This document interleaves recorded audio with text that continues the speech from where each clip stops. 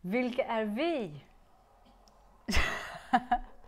Ja, jag heter Jens Jag heter Jeanette.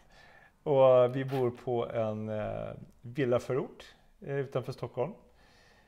Och här har vi eh, en tomt och några hus eh, och har odlingar och djur och ja, bygger upp, försöker bygga upp en permakulturgård.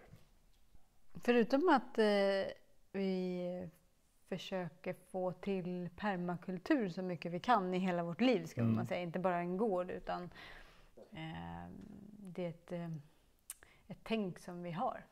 Eh, att leva eh, så gott det går, höll jag på att säga. och dela allting med naturen och göra det på ett schysst sätt. Så schysst det går. Så att vi kan leva och må bra och så att naturen kan fortsätta leva och må bra. Mm. Det är väl så, på alla Ja. plan. Precis. Okej. Mm. Och det har varit en resa. Ja. Och det är en resa fortfarande. Yes. Är det. Välkommen och förhoppningsvis bli inspirerad av den här lilla dokumentären.